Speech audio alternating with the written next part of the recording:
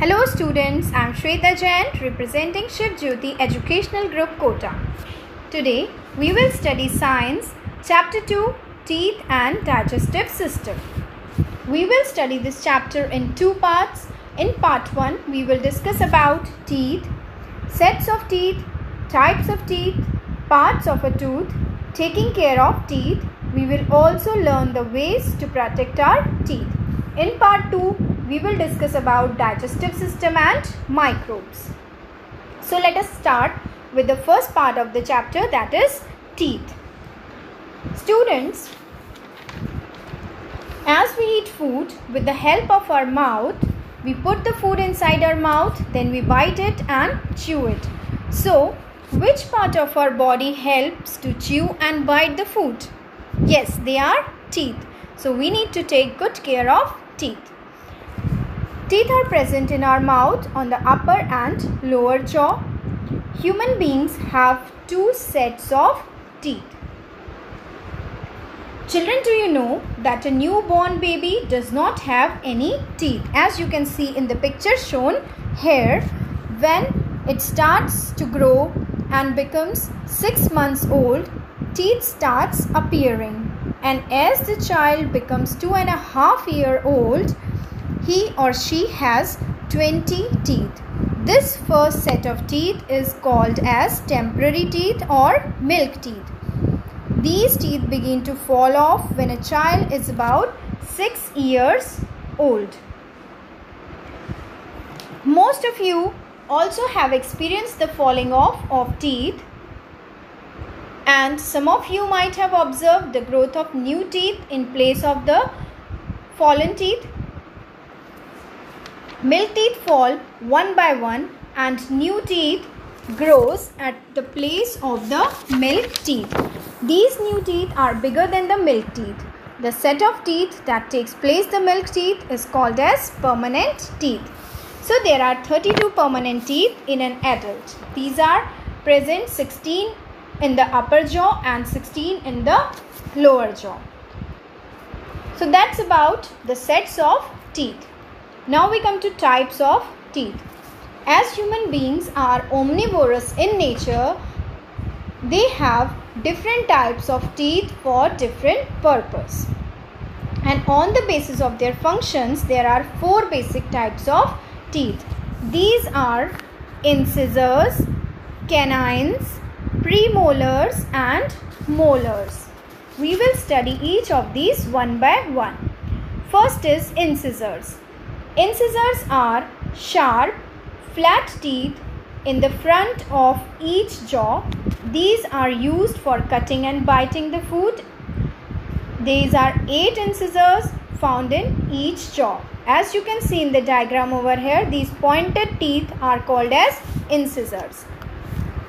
Then second type is canines. These are also sharp but pointed. They are present on both sides of incisors. These are meant for tearing the food. They are four canines, two in each jaw. And children, do you know that carnivorous animals who eat flesh, their canines are very well developed and bigger in size to tear the flesh. Now, third type is premolars. These are flattened broad teeth present next to the canines. They crush and chew the food. There are 8 premolars, 4 in each jaw. Then there are molars.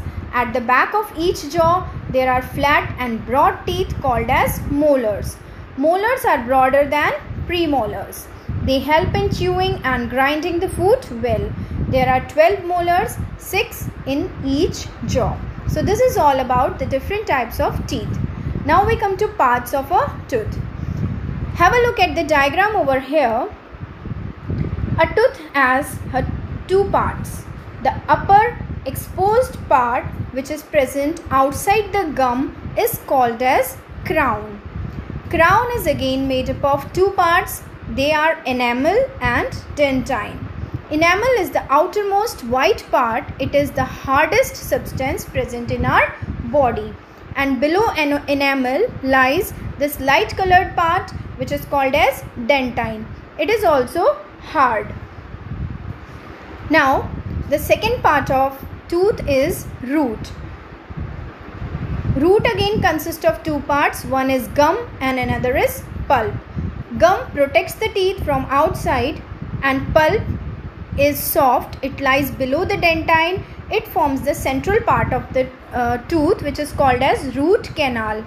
Inside this root canal there lies various blood vessels and nerves.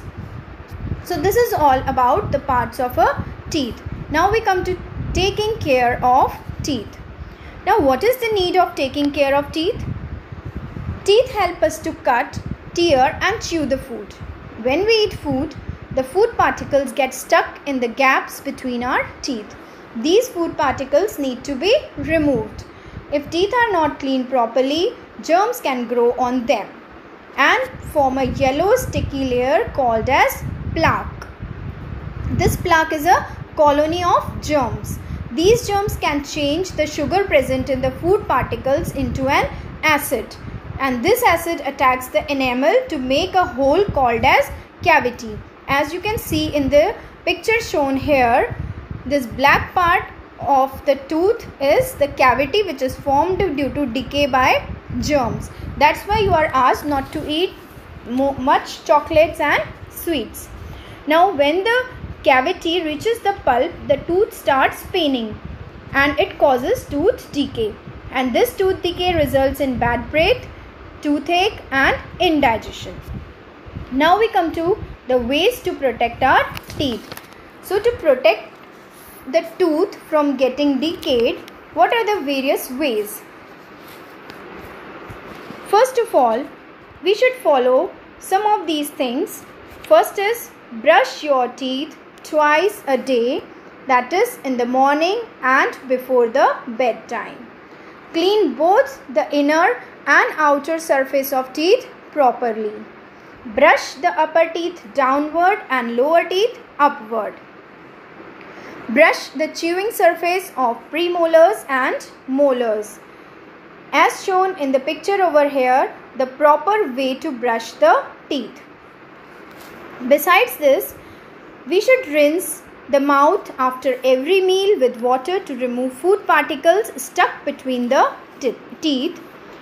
Avoid eating too many chocolates, sweets and sticky food as that these may stick to teeth and causes plaque formation and tooth decay. And we should eat fruits and raw vegetables and drink milk every day because they keeps the teeth healthy.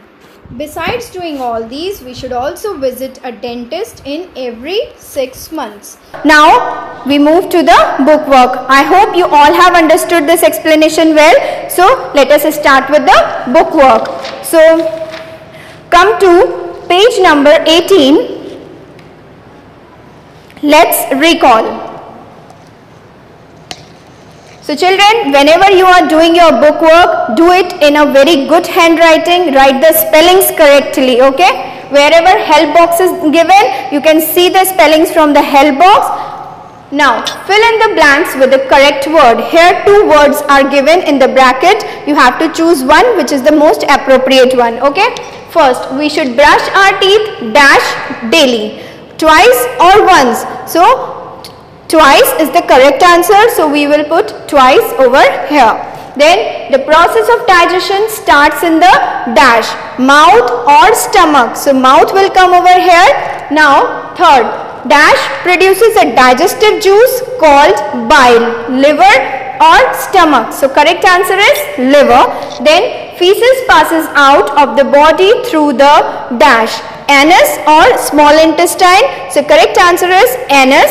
Then we should chew our dash well food or water. So the correct answer is food. So you have to write food over here. Now let's move to the next exercise. It is on page number 20 exercise number a. Tick the correct answers how many permanent teeth are there in an adult? Here four options are given. You have to put a tick mark on the correct option. 32, 16, 20, 22. So 32 is the correct answer. So put a tick mark on uh, over 32. Which of the following is not a type of tooth?